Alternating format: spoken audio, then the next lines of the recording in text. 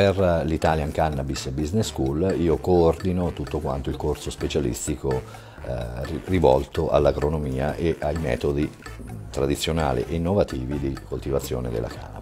In particolare eh, la mia lezione riguarderà la coltivazione eh, dell'infiorescenza di canapa con la tecnica outdoor, quindi con la tecnica tradizionale. Siamo qui a questo evento di C-Joint in qualità di docenti ed esperti della materia degli stupefacenti in generale, in particolare di questo nuovo fenomeno della cosiddetta cannabis light. Il nostro messaggio anche come, come professionisti, questa battaglia di principio che abbiamo portato nelle aule giudiziarie, ci sembra giusto e doveroso anche portarlo fuori dalle aule giudiziarie. Ieri ho parlato di mercati europei e italiani, possibilità di sviluppo invece oggi sottolineerò il fatto di filiera e di prodotti fibra e canapolo in quello che è il mercato italiano, per cui l'opportunità di sviluppo che c'è per l'Italia di questi fantastici prodotti che vengono dalla paglia di canapa. Parlo agli, ai corsisti dei derivati alimentari della canapa e di quali settori commerciali eh, interessano appunto, quali sono gli sbocchi commerciali per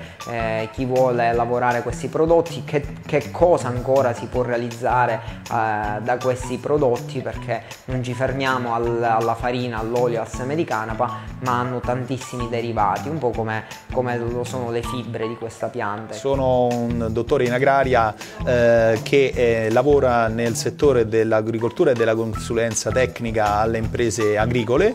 Uh, oggi parleremo nello specifico di come eh, affrontare una coltivazione in campo aperto, quindi più nello specifico come bisogna preparare un terreno agricolo per poter coltivare canapa, come vanno affrontate le varie fasi dello sviluppo della, della pianta e della piantagione. Ci occuperemo di marketing, eh, un'introduzione di base, concetti per tutti quelli che vorranno avviarsi all'attività, a un'attività qualsiasi nel mondo della, della cannabis eh, dal punto di vista commerciale. Sono Luca Millauro e sono il project manager di Canesis. Eh, sono qui oggi per parlare di materiali termoplastici biocompositi. Mi occupo di marketing e innovazione.